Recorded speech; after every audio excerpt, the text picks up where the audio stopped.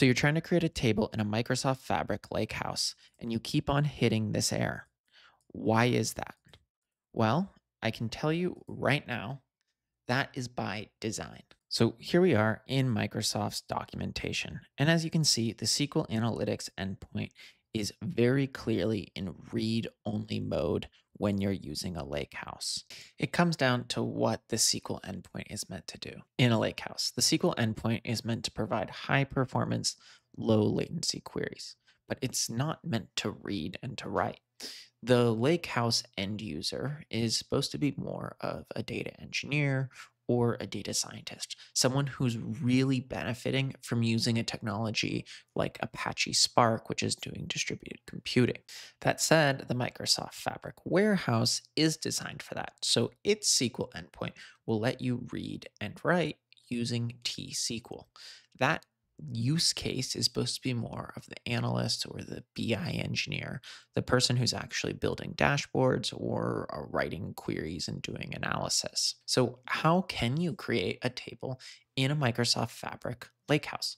Well, I said it just now. You can use a Microsoft Fabric notebook. So let's go ahead and let's do that. So here's that query that I showed at the start of the video that I was trying to run via the SQL endpoint, but was throwing an error. As you can see, even though I hit run one more time, it still wasn't liking it. So that was a helpful run. So I'm going to go back to that exact same workspace. I'm going to click new item right here. And then I'm going to go ahead and I'm going to create a notebook. So I'm going to search for notebook, then click notebook. Then when it's gone ahead and loaded, I'm going to attach the lake house to that notebook. So I'm going to go over here and I'm going to hit skip tour and then I'm going to go add data items, existing data sources, and I'm going to add in my lakehouse.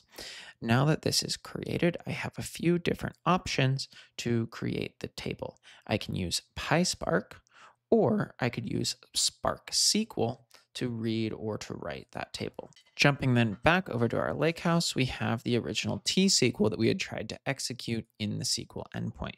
So let's go ahead and let's copy this, and then let's go back over to our notebook and let's paste it back in. Now we will need to adjust a few things. The first thing that we're going to need to remove is the DBO. And then we're going to need to change the varchars to strings.